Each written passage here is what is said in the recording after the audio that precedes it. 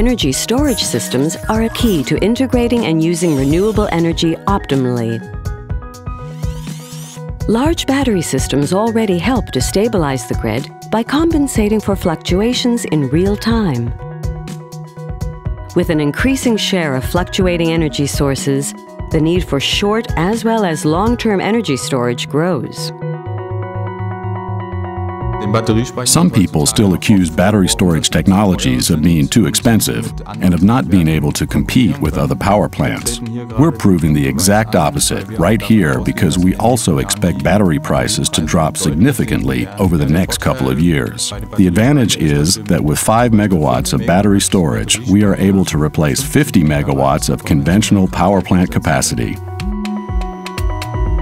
the falling cost of solar power is making energy storage increasingly attractive for private households too. This led to around 10,000 solar battery systems being installed in German households in 2014 alone.